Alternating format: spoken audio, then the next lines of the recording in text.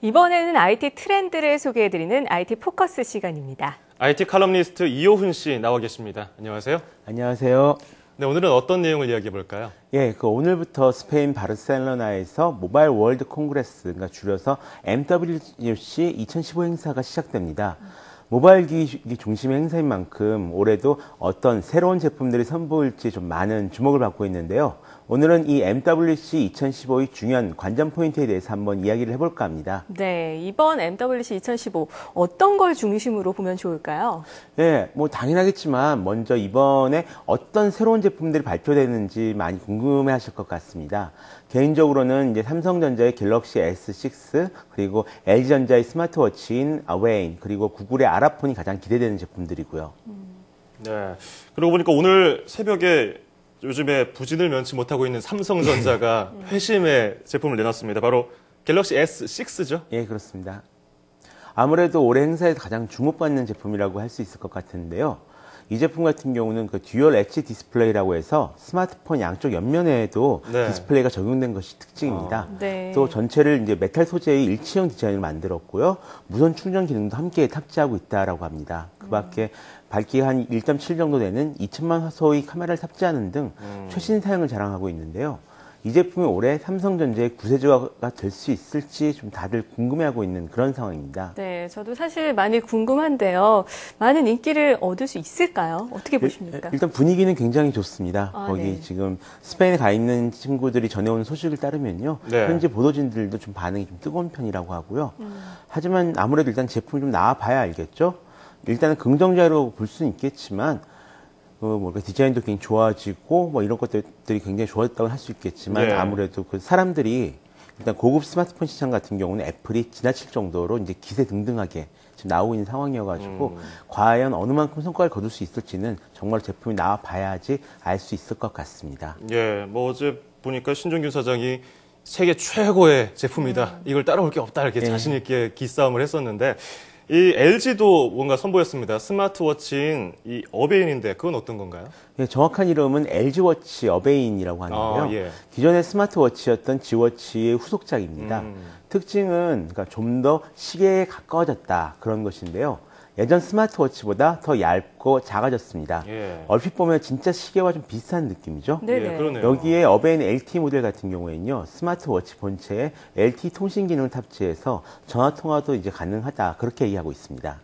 네, 정말 그냥 일반 시계 같아 보이는데 이번 MWC 행사에서 한국 대기업이 스마트폰이 아닌 스마트워치에 집중을 하게 된 특별한 이유가 있을까요? 굉장히 좀 특이한 케이스인데요. 실제로는 이제 스마트폰이 아니라 스마트워치를 내세운 경우는 맨 처음입니다. 그만큼 이제 스마트폰 시장이 어느 정도 정책이 들어섰고 그를 대신해서 좀 다른 먹거리를 열심히 찾고 있다 이렇게 보시면 이제 될 것 같은데요. 사실 이런 패션화된 웨어러블 기기들은 올해 좀 대거 등장할 예정에 있습니다. 이번 MWC 2015 같은 경우에도요, HT, HTC, 화웨이, 샤오미, 소니, 에이수스, 에이수스 등 주요 스마트폰 제조업체들이 대거 새로운 smartwatch를 내놓을 예정으로 있습니다. 네. 또 조금 있으면 이제 애플워치도 출시될 예정이니까요. 좀 재밌는 대결을 기대해 볼 수도 있을 것 같습니다. 예, 또 삼성 LG 관계자들이 긴장하고 있겠어요. 자, 그런가 하면 이 차세대 인터넷 기술도 기대를 모으고 있는데 이번 행사에서도 관련 기술들이 많이 이렇게 나오고 있다면서요. 예, 아무래도 한국 같은 경우에는요, 이 이제 5세대 인터넷, 보통 흔히 5G라고 부르는데요. 이 5세대 인터넷을 세계에서 가장 빨리 상용화하자, 이것을 목표로 하고 있는 그런 나라입니다. 예. 특히 5세대 인터넷 같은 경우에는 이제 앞으로도, 앞으로 그 실용화될 사물 인터넷 시대를 준비하기 위해서도 꼭 필요한 인프라인데요.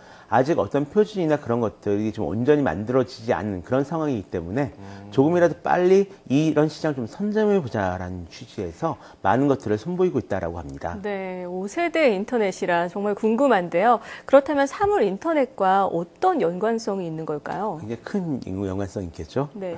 이 사물 인터넷 시대가 열리기 위해선 지금보다 훨씬 더 빠르고 더 많은 데이터를 막힘없이 전송할 수 있어야 하기 때문에 그렇습니다. 네. 지금은 지구에 살고 있는 모든 사람들이 이제 스마트폰을 다 쓴다라고 해도 그 사람들이 쓰는 만큼만 그러니까 한 70억 대 분량 정도의 데이터만 처리하면 되잖아요. 그런데 아. 앞으로 3월 인터넷 시대가 오게 되면 이렇게 인터넷 통신을 혼자 알아서 하는 기기들이 엄청나게 늘어나게 됩니다. 그러니까 수십억이 아. 아니라 수백억 대가 인터넷에 연결되어 있는 예. 이런 상황이니까요. 예. 그래서 그런 엄청난 데이터 용량을 소화할 수 있는 새로운 인터넷 기술이 필요한 겁니다. 예. 그 어떤 기술들이 주로 선보일까요?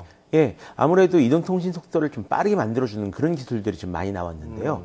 SK텔레콤이 시연할 기술 같은 경우에는 millimeter wave, 그러니까 20에서 300GHz에 이르는 초고 주파수 대역을 활용한 이동통신 기술입니다. 예. 현재 쓰이고 있는 주파수 대역은 이제 거의 꽉 찼을 정도로 포화 상태에 이렇기 때문에 좀 새롭게 이용할 주파수 대역을 찾는 것은 상당히 좀 중요한 문제로 좀 대두되고 있는데요. 이번 시연에서는 7.55GBps라는 세계에서 가장 빠른 속도를 선보여줄 예정이라고 합니다. 또 네. KT도 이제 스페인에 갔는데요. KT에서는 세 종류의 무선 네트워크를 동시에 서비스할 수 있는 triple mode cell을 세계 최초로 시연할 계획이 있고요. LG U 플러스에서는 실제 집 모양의 이제 세트장을 설치해가지고요. 다양한 사물 인터넷 사례들을 어떻게 활용하는지 그렇게 보여줄 예정에 있다라고 합니다. 예. 뭐 네. 그 밖에도 화웨이나 노키아, 에릭슨 등 세계의 좀 다양한 기업들이 다양한 뭐 5G 인터넷 신기술들을 이제 선보일 예정이니까요. 거기에 대해서도 한번 주목해 보시면 좋을 것 네, 같습니다. 기대를 해봐도 좋겠네요. 네. 자, 그런가 하면 핀테크 분야에서도 여러 가지 많은 기술들이 나온다고 하는데 어떤 기술들이 선을 보일까요? 어, 핀테크라고는 하지만 이번에 선보이는 것들은요, 주로 그 스마트 결제 분야에서 좀 많은 기술들이 선보인다, 이렇게 생각하시면 될 것 같습니다. 간단히 말해서 스마트폰을 어떻게 신용카드를 대체할 것인가, 요런 기술들이 이제 선보, 선보이는 건데요. 작년에 등장한 애플페이가 생각보다 좀 반응을 괜찮게 얻었거든요. 네. 그것 때문에 이에 대응하기 위해서 스마트폰 제조사들의 물밑 경쟁이 굉장히 치열한 상태입니다. 삼성전자는 최근에 이제 마그네틱 보안 전송 특허를 가지고 있는 루프페이를 인수한 바가 이미 있는데요. 이게 이제 삼성페이라는 이름으로 이제 올해 여름서부터 이제 상용화 될 예, 예. 예정에 있고요. 또 LG 워치 어베인 같은 경우에도 시계를 이용해서 NFC 결제랑 smart wallet 이 기능을 탑재할 것으로 알려졌습니다. 특히 이번에 그 행사에는 AJ 방가든 마스터카드 회장과 또 이제 프란시스코 곤잘레스 스페인 BBVA 은행이 있거든요. 이 은행 회장이 참석해서 기조 연설을 할 예정으로 있는데요. 이를 통해서 은행들이 이 핀테크를 어떻게 바라보고 앞으로 어떻게 활용할 계획인지를 조금 더 자세히 화- 활용할 수 있을 것 같습니다. 예, 뭐, 그러니까 어제 보니까 갤럭시 S6에도 그 삼성페이 아까 말씀하신 예. 게 들어갔다고 하는데 이 분야도 굉장히 치열할 것 같네요. 엄청나게 치열하죠. 예, 예. 그러니까 온갖 MWC에서 다양한 기능이 나오다 보니까 좀 복잡하실 것 같은데 정리를 해드리자면요. 신제품 스마트폰, 그리고 스마트워치, 5세대 인터넷, 핀테크, 이렇게 네 가지로 크게 정리해 볼 수 있을 것 같습니다. 자, 지금까지 IT 칼럼니스트 이호훈 씨와 함께 이야기해 봤습니다. 고맙습니다. 고맙습니다.